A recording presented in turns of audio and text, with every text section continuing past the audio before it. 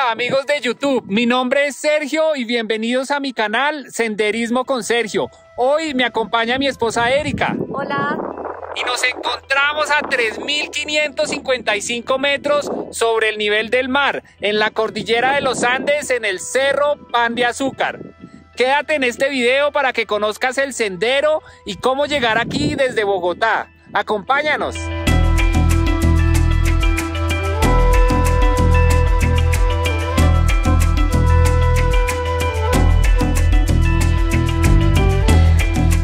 Nuestro camino inicia en la vía que conduce de Guatavita a Sesquilé.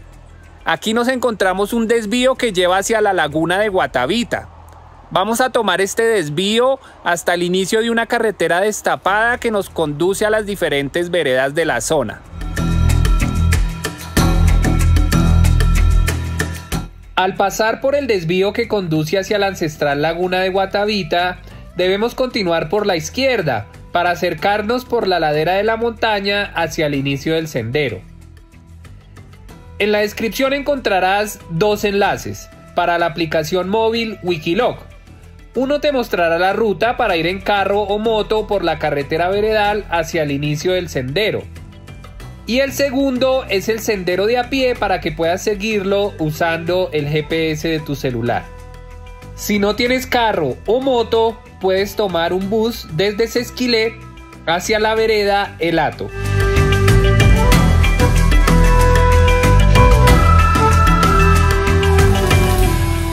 Y en esta intersección donde confluyen tres caminos, dejamos estacionado nuestro vehículo y vamos a continuar por la carretera veredal hasta un camino de herradura que nos adentra a la montaña y al páramo.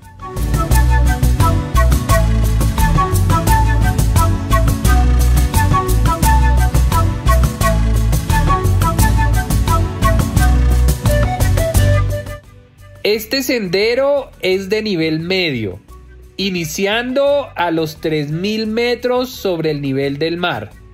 Tendremos un recorrido total de 11 kilómetros, que nos llevarán hasta una altitud máxima de 3.556 metros.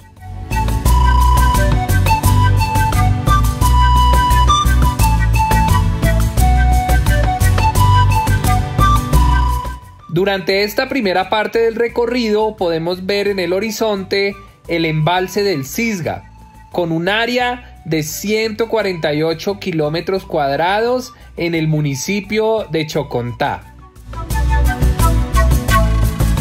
Y después de 1.45 kilómetros que recorrimos en cerca de 45 minutos con una ganancia de elevación de 215 metros, Finalmente termina la carretera veredal e inicia nuestro recorrido por el camino de herradura que nos va llevando poco a poco adentro en la montaña.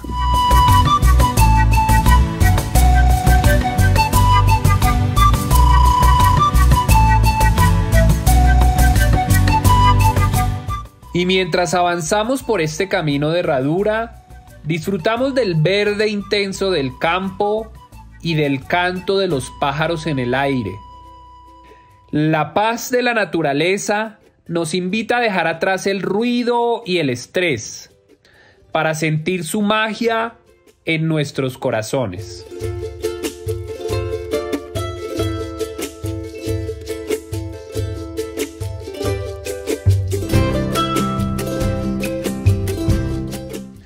Y después de 2.25 kilómetros, termina el camino de herradura y nos encontramos en la frontera agrícola con el páramo. Aquí continuamos por un sendero que marca el inicio del páramo de Guatanfur.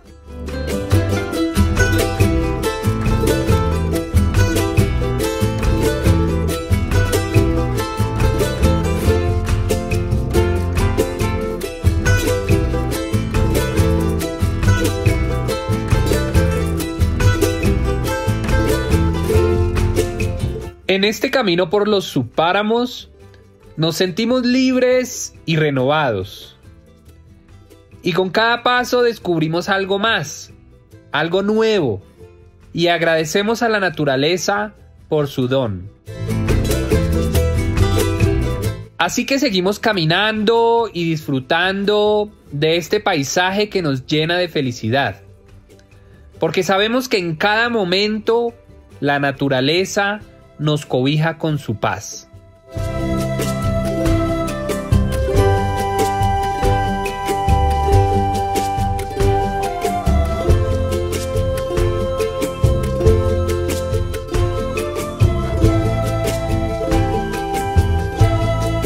Y después de 3.33 kilómetros de recorrido, finalizamos el ascenso por el subpáramo y llegamos al páramo de Guatanfur.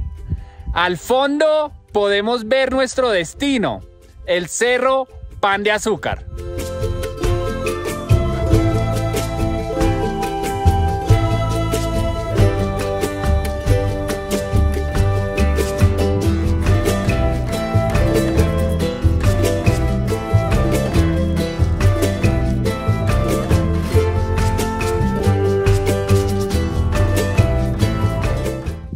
En este punto llevamos 4,32 kilómetros de recorrido.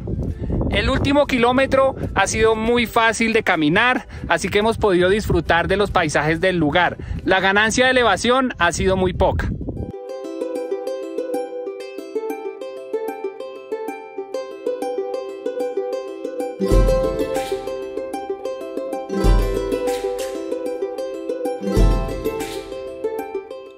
La montaña es un lugar que invita a la reflexión y al descubrimiento de uno mismo. Subir hasta el pico es un reto físico y mental que requiere determinación y coraje. Mientras nos acercamos al pico, podemos sentir el viento en nuestra cara y la naturaleza a nuestro alrededor. Y esto nos hace conectarnos con algo más grande que nosotros mismos.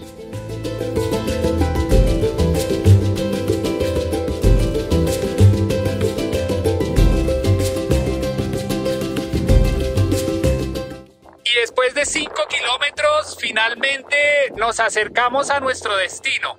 Nos falta el último ascenso que nos lleva por encima de los 3.500 metros de altura.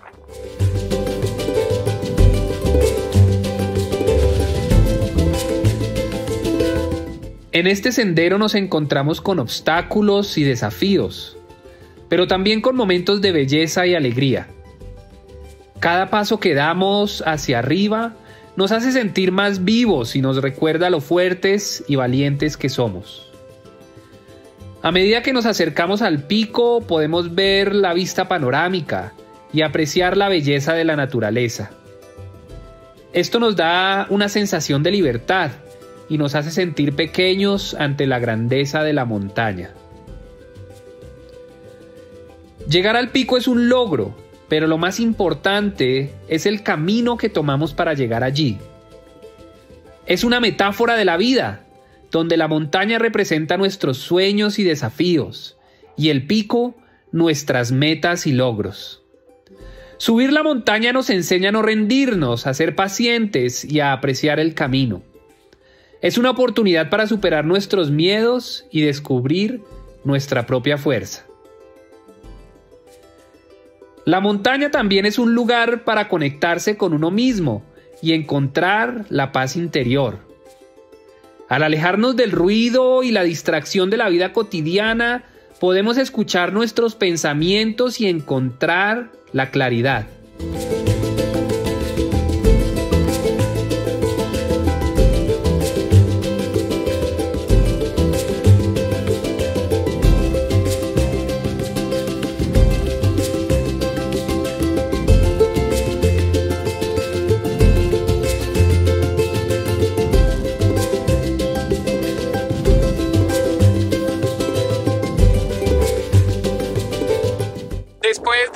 5.48 kilómetros, finalmente llegamos a la cima del Cerro Pan de Azúcar. En este punto estamos a 3.554 metros sobre el nivel del mar.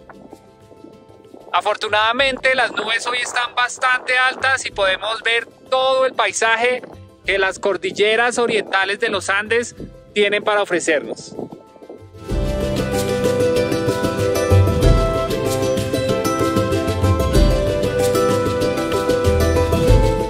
La naturaleza y la tranquilidad de la montaña nos invitan a meditar y a reflexionar sobre nuestras vidas.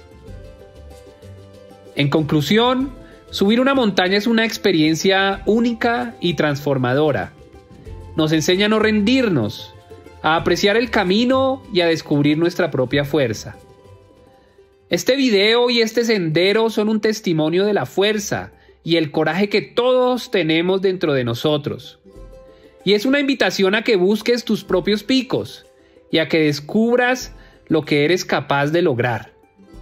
Al final, podemos decir que subir una montaña es una lección de vida y un regalo para el alma.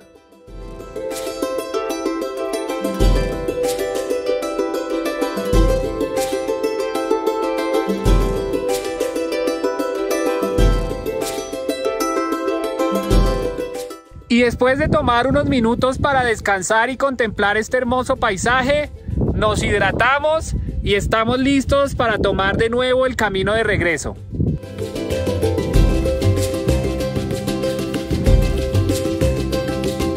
Los páramos como este son responsables de la producción de agua dulce en el planeta, almacenando y filtrando la lluvia que luego se convierte en ríos y arroyos que nutren la vida humana y la biodiversidad en la región.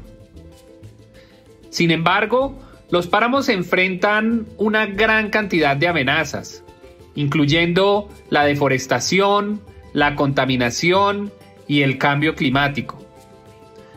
La pérdida de estos ecosistemas significaría no solo una pérdida irreparable para la biodiversidad, sino también una disminución en la producción de agua dulce, lo que tendría graves consecuencias para la vida humana y para el medio ambiente. Es importante que nos demos cuenta del papel que juegan los páramos en nuestro ecosistema y tomemos medidas para protegerlos. Esto puede incluir la educación y la concientización sobre su importancia, la implementación de políticas y prácticas sostenibles, y la colaboración entre las comunidades locales y los expertos en conservación. Además, es fundamental involucrar a las comunidades locales en el proceso de conservación de los páramos, ya que son ellas quienes dependen directamente de ellos y tienen un conocimiento profundo sobre su funcionamiento y manejo.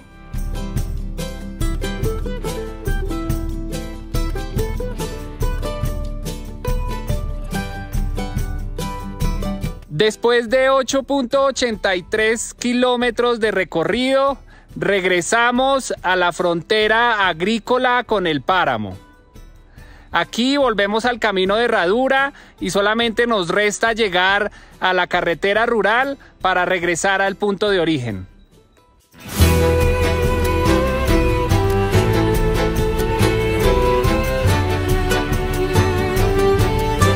En resumen, Quiero que este video te recuerde sobre la importancia de los páramos en el ecosistema andino y en la producción de agua. Al proteger los páramos, estamos protegiendo la vida humana, la biodiversidad y el medio ambiente, y garantizando un futuro sostenible para la región andina.